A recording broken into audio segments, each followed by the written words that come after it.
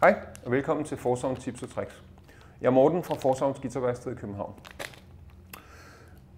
I dag skal vi se på, hvordan man skifter strenge på en guitar, der har lidt speciel stemmeskruer end normalt. Det er de såkaldte Fender Vintage stemmeskruer, hvor der er et hul øh, ned i midten øh, opfra, og altså ikke et hul igennem skaftet på stemmeskruen. Det er en lidt anden måde at montere det på end, end en almindelig stemmeskrue. Vi starter selvfølgelig med at skulle have de gamle strenge af først, og der løsner jeg dem i forvejen.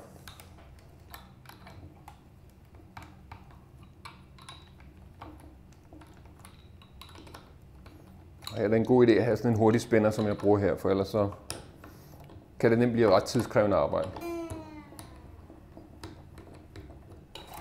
Så de er løse. Når jeg klipper dem over, så klipper jeg dem gerne over midt på gribbrættet. Fordi eventuelt små strenge stumper, så de ikke sætter sig i, i pickupperne, som jo er magnetiske. Sådan der. Og det smarte ved den her type stemmeskruer, det er, at jamen, strengene de falder lige af.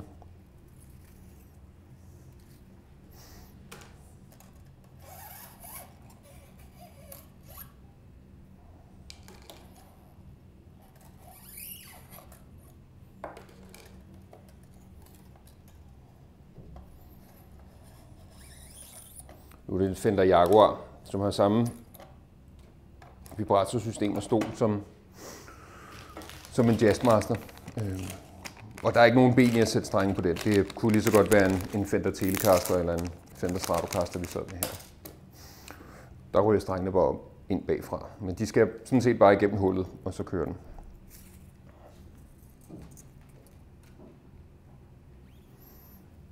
Når vi har strengene af, så er det en god idé at give gribbrættet lidt gribrætsolie. Øh, og det kan man få i de fleste guitarbutikker, og det mærket er sådan set ligegyldigt. Øh, jeg har det forskelligt her. Men mærket er ligegyldigt, og bare du giver den en lille smule hver gang du skifter strengen, så beskytter du træet, og du forhindrer også, at, at sved og håndfedt sætter sig for meget i træet.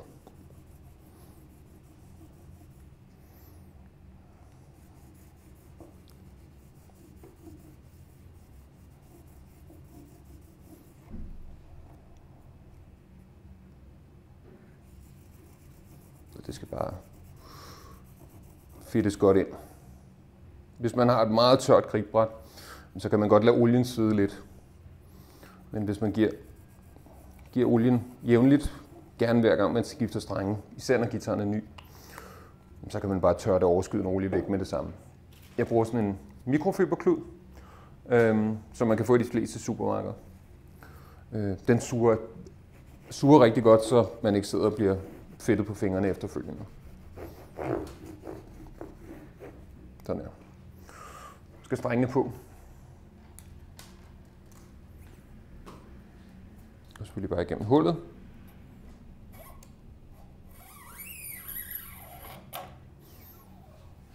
Og så op her. Og det er her, de fleste mennesker kan have lidt problemer. Og der skal man altså bruge en skævbider. For ellers får man utrolig meget overskydende streng. Og det gør, at guitaren nemt kan gå ud af stemningen, fordi de små viklinger ligger og kan give sig. Så så lidt streng som muligt, men selvfølgelig tilstrækkeligt til, at, at strengen ikke falder af stemmeskruen. Og her er det så belejligt, at hvis man klipper ud til to stemmeskruer efter den stemmeskrue, man skal have streng på, så passer det lige præcis.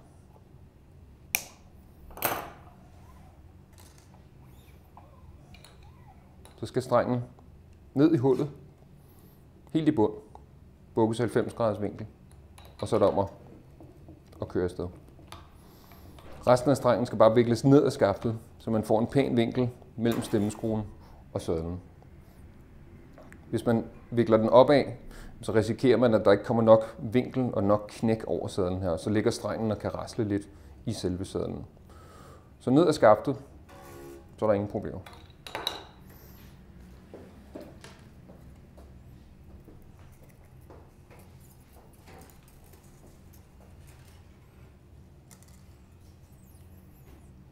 Gøre med, med resten af strengene.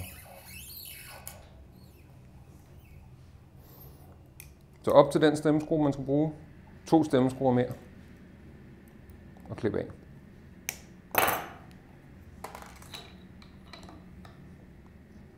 ned i bunden af hullet, 90 graders vinkel. Og så er der bare hjul derud af.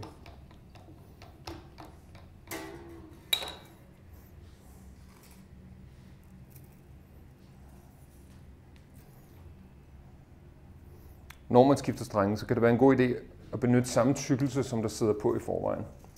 Så ved man, at justeringen passer. Det vil sige, at man ikke får unødig raslen eller unødig for høj eller for lav strengehøjde efterfølgende. I det her tilfælde sidder der 0,10 strenge på, så det fortsætter jeg med at bruge på den her også. Så op til den stemmeskrue, man skal have strengen på, D-strengen. To stemmeskruer ud og klip af.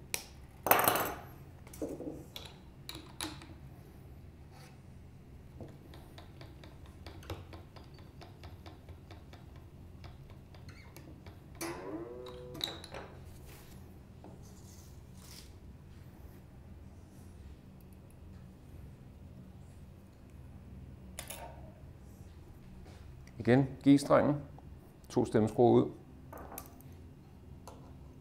klip af.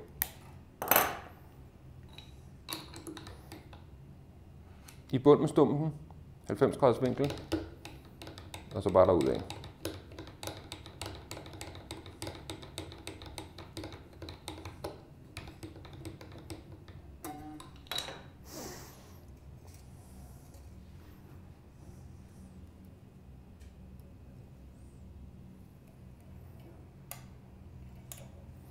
Nu har Vaxe seere sikkert regnet ud, at nu er jeg lidt løbet tør på stemmeskruer og måle ud til.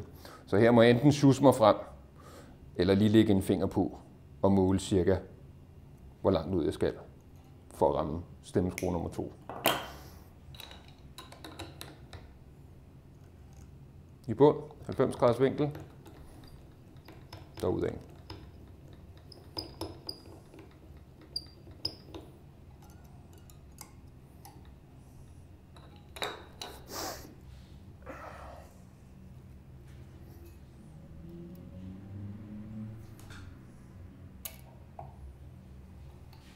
Den sidste streg.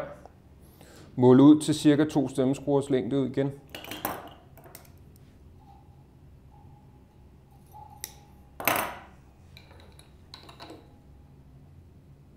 Og i bund. På den tynde E-streng, som jeg er nået til nu, der kan det være en god idé at lade strengen folde over sig selv en enkelt gang. Det vil jeg prøve at vise her. Så her fortsætter jeg rundt og når til, den, til strengen igen. Så lader jeg den lige køre over en halv omgang. Og så folder jeg den ned over sig selv. Ligesom på den her måde. Men ellers så fortsætter jeg bare i bund med strengen der. Så er der strenge på min jaguar.